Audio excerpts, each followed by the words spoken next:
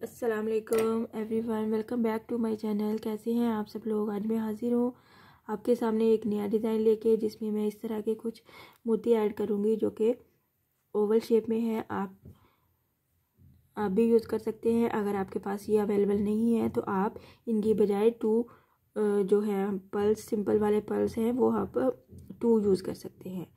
क्योंकि हमें ये, इसकी लेंथ के हिसाब से अपना डिज़ाइन बनाना है तो हम आज के डिज़ाइन में ये वाले बीट्स ऐड करेंगे। और मैं अपने डिज़ाइन के लिए two colours mix and match करूँगी। आप एक ही कलर की टू लेयर्स भी यूज़ कर सकते हैं, आप पैराशूट का धागा भी यूज़ कर सकते हैं, आप इसी डिज़ाइन को कॉटन थ्रेड से भी बना सकते हैं। जैसे आपको ईजी लगता है, जैसे आप बनाना चाहते हैं, आप इसी डिज़ाइन को बना सकते हैं। काइंडली जिन लोगों ने अभी अभी ट्यून किया है, मेरा चैनल सब्सक्राइब कर दीजिए लाइक कमेंट और शेयर भी किया कीजिए। थैंक यू इसी के साथ स्टार्ट करते हैं हम अपना आज का design as usual slip knot लेते हुए स्लिप नोट ज़रूर बनाया कीजिए, उससे आपका डिज़ाइन सिक्योर हो जाता है और खुलता नहीं है। स्लिप नोट लेते हुए हम इसको अपने फैब्रिक पे अटैच कर देंगे सिंगल क्रोशे की हेल्प से। आज के डिज़ाइन के लिए मुझे किसी किस्म की बेसरो नहीं बनानी है और डायरेक्ट मैं अपना डिज़ाइन अप्लाई करूँगी। सिंगल क्रोशे किया। सबसे पहले सिंगल क्रोशे करते हुए इसके ऊपर ही हमने यहाँ पे मोती अपना ऐड करना है, जिसके लिए मैं बारीक वाली हुक यूज़ कर रही हूँ, क्योंकि मोती का जो होल है वो छोटा है। कुछ इस तरह से हम इसको इंसर्ट कर लेंगे अपने हुक में और फिर अपने धागे से बाहर निकाल लेंगे।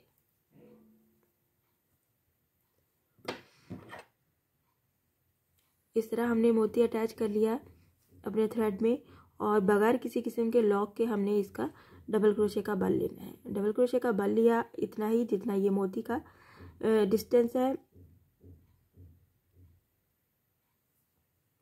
और साथ ही हमने डबल क्रोशे बना दिया मोती को अटैच आपने लॉक नहीं करना पहले, और ये हमने इसी तरह से इसको बनाना है डिज़ाइन इस तरह से ये थोड़ा सा टेढ़ा होगा, यही हमारा डिज़ाइन बनेगा। और इसके ऊपर हम बनाएँगे थ्री चेन का picot one two three three chain और इसका पिकआउट कहाँ पे बनाएँगे हम? यहाँ पे ये जो ऊपर वाले दो हमारे पास लूप्स हैं, हम इसमें से इसको सिंगल क्रोशे करते हुए पिकआउट बनाएँगे। और साथ ही हमने ये जो सिंगल डबल क्रोशे है, इसके क्रॉस में सिंगल क्रोशे करते हुए इसके ऊपर एक और पिकआउट बनाएँगे, one, two and three chain का और यहाँ पे हमने इसको सिंगल क्रोशे करना है। एक बार फिर से हमने यहीं पे सिंगल क्रोशिया लेना है और उसके ऊपर भी पीकॉट बनाना है। थ्री पीकॉट्स बनाने हैं हमने। वन टू थ्री चेन और इसको यहाँ पे हमने सिंगल क्रोशिया करना है। और फिर यहाँ पे थ्री पी पीकॉट्स हमारे कंप्लीट हो जाएँगे और हम इसको अटैच कर देंगे फैब्रिक पे। जितना डिस्टेंस हमने फ़र्स्ट पे लिया है, हमने वो ही डिस्टेंस सेम लेके चलना है और ये हमारा फ़र्स्ट स्टेप ऐसे कंप्लीट हो जाएगा। ये हमारा फ्लावर बनेगा इस मोती के साथ थ्री पी पीकॉट्स के साथ। और यहाँ पे हमने नेक्स्ट स्टेप के लिए फिर से अपना हुक चेंज करनी है और अपना मोती अटैच करना है।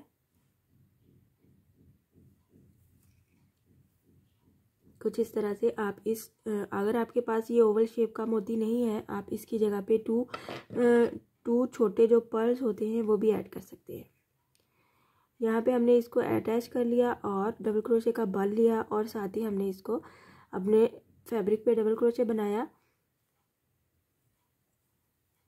डबल क्रोशे बनाया और ये थोड़ा सा टेढ़ा शेप आ जाएगा, उसमें हम अपना डिज़ाइन बनाएँगे। डबल क्रोशिया बनाने के साथ ही इसके ऊपर थ्री चेन का पिकआउट बनाएँगे। One two and three three chain और ये जो हमारे एजेस पे टू लेयर्स हैं, हम इसमें से इसको सिंगल क्रोशे करेंगे। और ये जो हमारा डबल क्रोशे का पार्ट है, इसके अंदर से हम इसको सिंगल क्रोशे करेंगे और इसके ऊपर एक बार फिर से थ्री चेन का पिकआउट बनाएँगे। सिंगल क्रोशे की हेल्प से। और एक बार फिर से हम सिंगल क्रोशे बनाएँगे और इसके ऊपर हम अपना थ्री चेन का पिकॉट बनाएँगे। One two and three three chain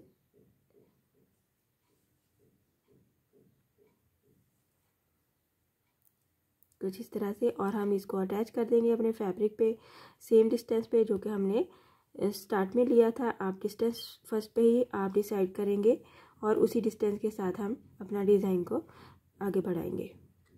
आप देख सकते हैं, बहुत खूबसूरत डिज़ाइन है और मिनटों में बन जाता है। इसमें किसी किस्म की बेस्टों की ज़रूरत नहीं, इसमें किसी किस्म की भी आपको मुश्किल स्टिचेस की भी ज़रूरत नहीं है। इजी है, बहुत इजी है। चेन के साथ हमने पी कॉर्ड्स बनाने हैं और डबल क्रोशे के साथ हमने इसको सिंगल क्रोशे करते जाना है। मैं थोड़ी सी लेंथ और भी बना के शो करती हूँ। आपने नोट किया, बहुत ही मिनटों में ये डिज़ाइन बन जाता है। तो चलिए हम इसकी फाइनल लुक देखते हैं। आप देख सकते हैं, इसकी थोड़ी सी मैंने लेंथ को कंप्लीट किया है ताकि आपको देख के समझने में आसानी हो डिज़ाइन को। अगर आप डिज़ाइन सामने बना हुआ हो तो हम उसको देख के भी आसानी से समझ सकते हैं कि हम इसको कैसे कैसे बनाएँगे। और ये इसका बैक साइड है और ये इसका फ्रंट साइड है। इस डिज़ाइन में आपको किसी किस्म की कोई मुश्किल नहीं है। बेसिक बेसिक स्टिचेस यूज़ किए हैं।